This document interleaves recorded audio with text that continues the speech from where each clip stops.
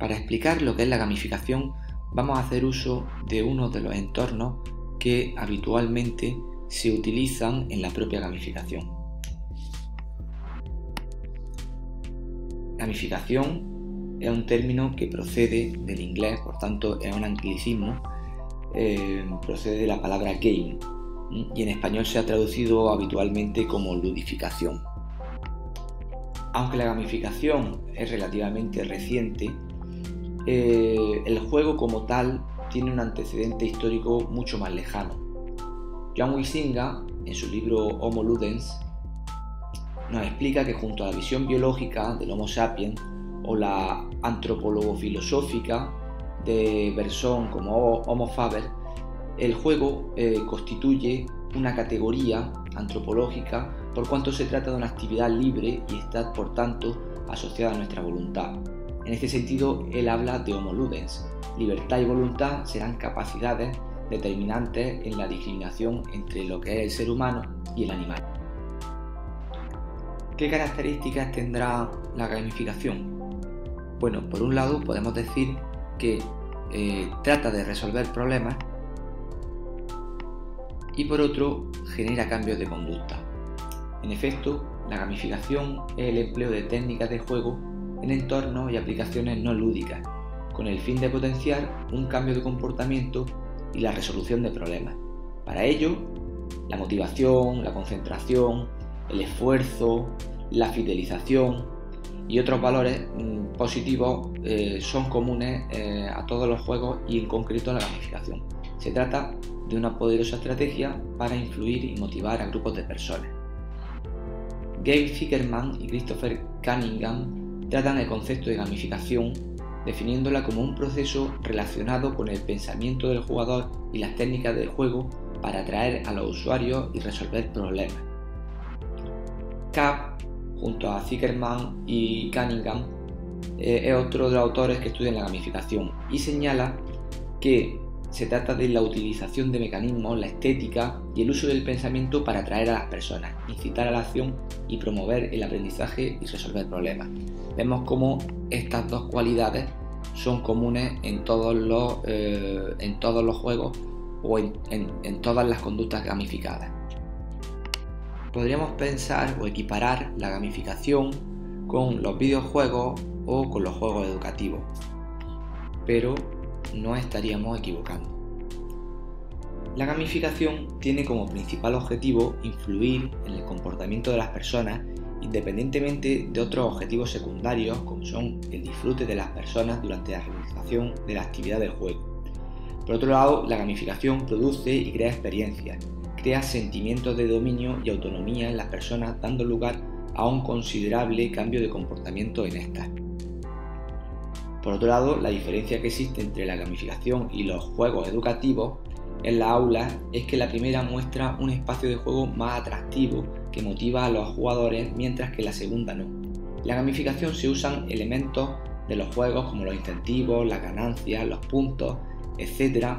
para obtener de esta forma una conducta deseada por parte del jugador. Al final existe un acuerdo más o menos generalizado entre los autores en que la finalidad de todo juego que lleva implícito el ideal de gamificación es influir en la conducta psicológica y social del jugador a través del uso de ciertos elementos presentes en los juegos. A los componentes de la gamificación podemos decir que intervienen por lo menos tres elementos.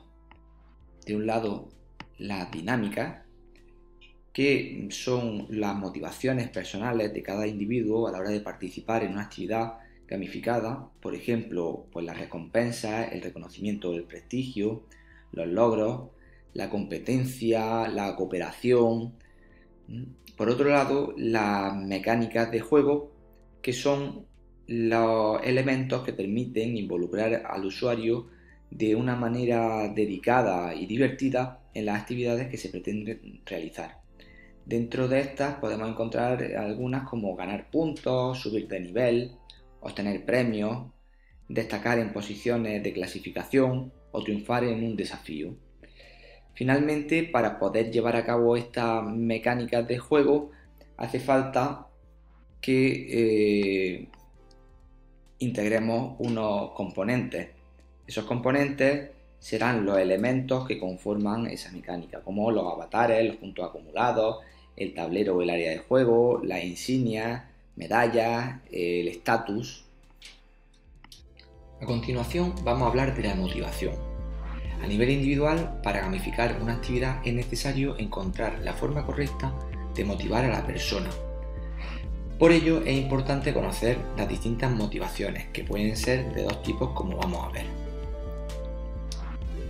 Por un lado está la motivación intrínseca, que es la inherente a la persona, es la que realiza por su propio bien o interés.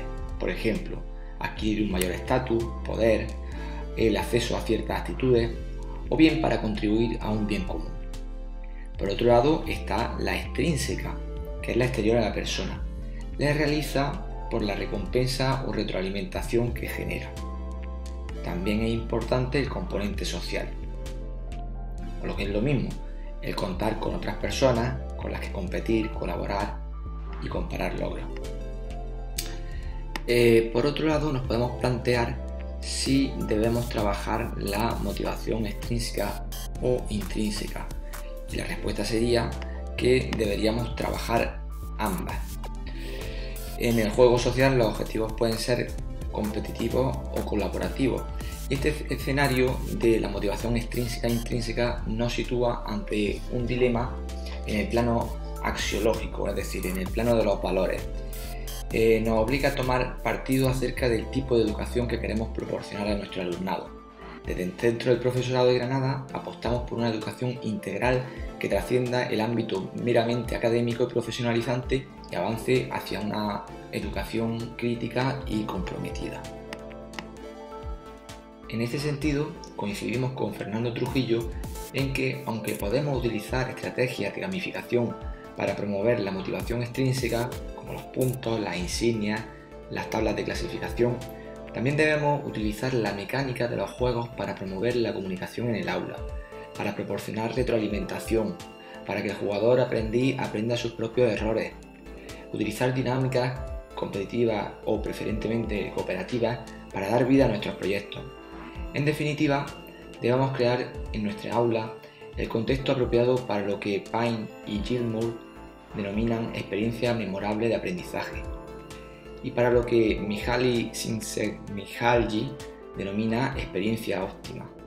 Una experiencia memorable de este tipo, además de promover el aprendizaje, provocará el crecimiento personal de nuestro alumnado, al abrir su experiencia a los ámbitos del ser, del hacer y del disfrutar.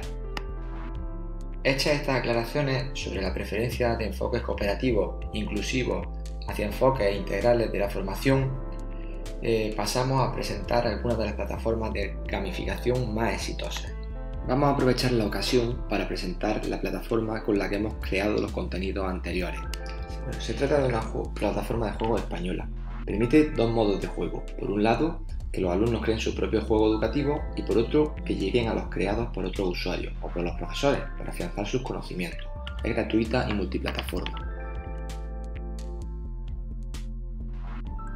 Brainscape es una de las plataformas con mayor cantidad y variedad de tarjetas digitales para la enseñanza, y en ella encontramos todo tipo de materiales sobre los temas más variopintos. También puedes crear y compartir tus propios juegos de tarjetas.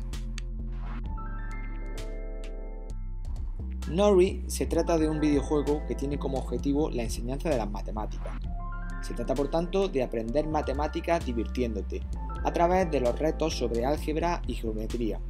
Se busca además ser un accesorio para la clase más formativa y tradicional. Primero la explicación del profesor y luego a jugar para afianzar los conocimientos. Está disponible a través de web y dispositivos iPad.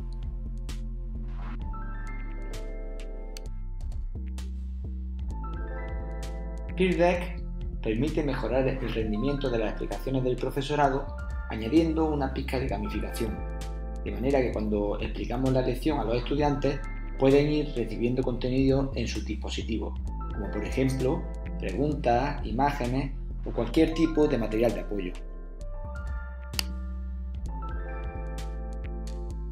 Kahoot es la plataforma que permite hacer concursos con tu alumnado podrás crear juegos de preguntas y respuestas de forma muy intuitiva y además podrás tanto hacer tus propios quiz como unirte a alguno de los muchos ya creados.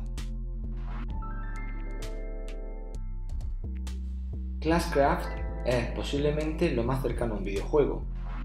Se trata de una plataforma tremendamente visual y atractiva que permite crear un mundo de personajes, magos, sanadores, guerreros, que deberán cooperar y participar en misiones para ir ganando puntos y oro con el que mejorar su equipo.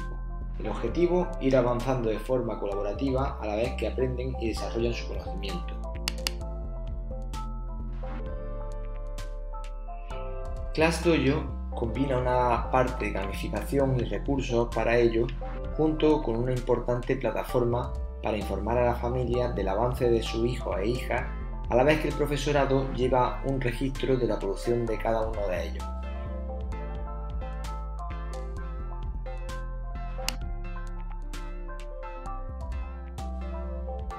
Brainly es una página en donde se plantean dudas sobre actividades y tareas de las que el alumno o la alumna no tiene la respuesta. De esta manera, los usuarios le ayudamos respondiéndole de la forma más completa posible para que termine de entender su tarea.